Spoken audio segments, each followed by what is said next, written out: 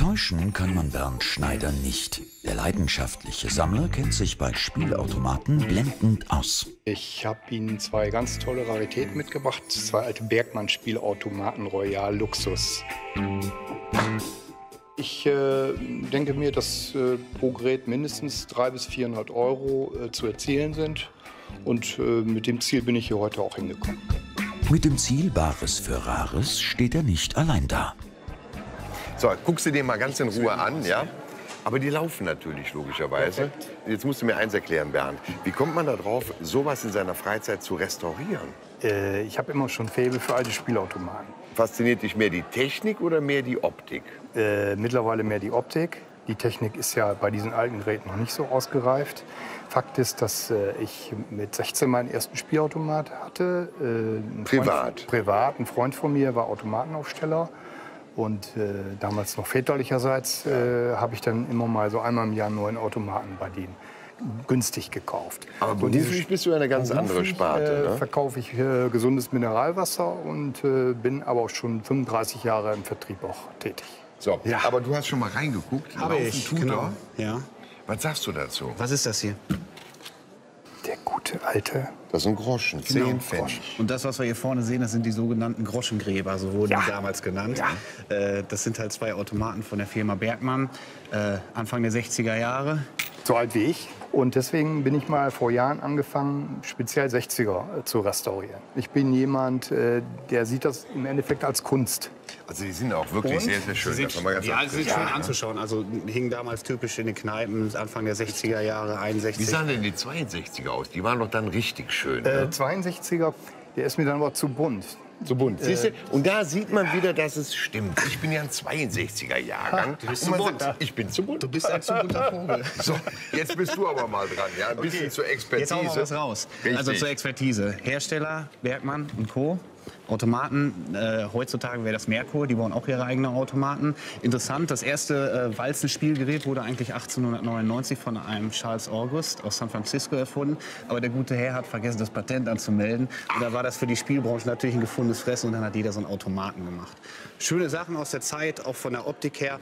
Also das Spielsystem ist eher langweilig, aber optisch sind sie sehr schön. Ja. So, bevor ich natürlich etwas raushaue, muss ich noch mal genau gucken gehen, ob alles funktioniert. Ja, Weil gerne. das macht natürlich viel aus. Ja. Wobei ich muss sagen, dekorativ sind sie ja wirklich. Ne? Ja, Je nachdem, wie man aus. eingerichtet ist. Ne? Aber ich könnte mir sowas auch schon bei mir in der Garage vorstellen, weil es einfach schön. Allein diese Geräusche, die sie macht. Ne? Das ist so pure ist halt Nostalgie Mechanik, und ne? Nostalgie ist in. Ja. Ja. Wenig Technik drin, aber Ich sag mich, hast du gewonnen? Ja, eine Erfahrung. so, Ja, Jetzt bin ich mal gespannt. wichtig ist, sie laufen einwandfrei, ohne technische Probleme. Alle beide wirklich stundenlang auch geprobt, geprüft und äh, wirklich auch noch mal vernünftig lackiert. Also viel Jedes Geld reingesteckt, viel Arbeit reingesteckt. Viel Arbeit und wenn, dann bin ich immer Ja. dafür, muss sowas auch vernünftig funktionieren. also wie Sie jetzt gerade sagen, funktionieren. Ich habe sie mir jetzt gerade auch noch mal angeschaut. Optischer Zustand ist gut. Bastelkarre kriege ich für 50 Euro. Die sind im schönen Zustand. Da könnte pro Automat zwischen 250 und 300 Euro könnten drin sein. Bin ich mit einverstanden. Und da bin ich mal gespannt. Ich habe oben einen im Kopf, der es wahrscheinlich kaufen wollte. Ihr Kärtchen. Vielen Dank. Bitte schön. Müssen Sie jetzt nicht mit hochschleppen, dann machen wir nachher. Das ist super. Vielen Dank nochmal. Toi, toi, toi. Danke. Ne? Danke dir. Also, Ich finde die wirklich cool. und weil die hat definitiv eine Hausbar, wo so ein Ding reinpasst. Ich bin natürlich gelernter Vertriebler. Seit 35 Jahren meine ich mehr äh, oder weniger immer erfolgreich gewesen. Und ich werde natürlich versuchen zu pokern, das Bestmöglichste rauszuholen. Die Schmerzgrenze wären 500 Euro. Also ich finde mich schlecht, geht ganz. Das ist doch eine feine Sache. Geht einbahnfrei. Läuft gut, einbahnfrei. Schön. Also der Höchstgewinn ist ein D-Mark. Eine D-Mark. Das kann man höchstens Und 10 maximal. Pfennig schmeißt rein. Ich würde mich freuen, wenn vielleicht das nächste Urlaubsgeld so ein bisschen dabei rauskommen würde. Und jetzt gehe ich mal schnell hoch. Ich bin auch ein bisschen aufgeregt. Viel Glück, Bernd. Hoffentlich werden die beiden Spielautomaten nicht wirklich zum Groschengrab. Guten Tag, hallo. Guten Tag, die Damen, guten Tag, die Herren.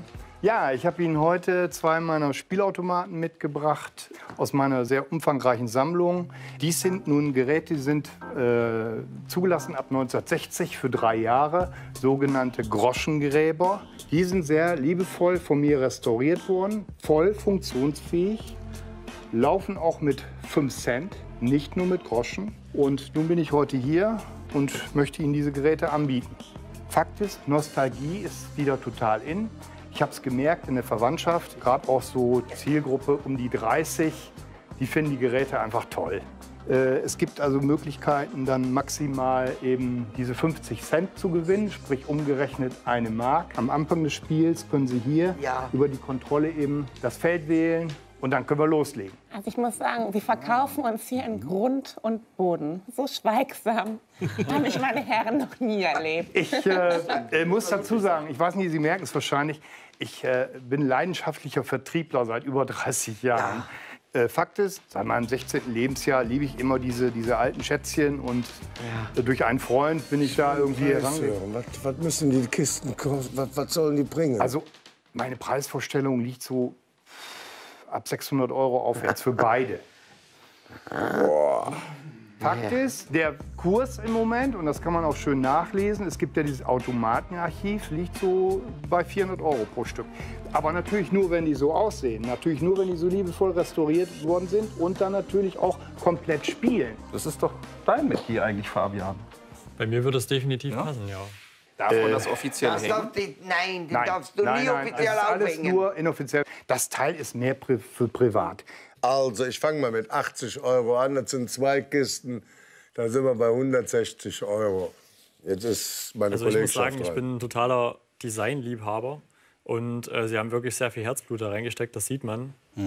Äh, 80 Euro ist definitiv zu wenig für, für so ein Teil in so einem ja, Zustand. 120 kriegst du dafür. funktionsfähig.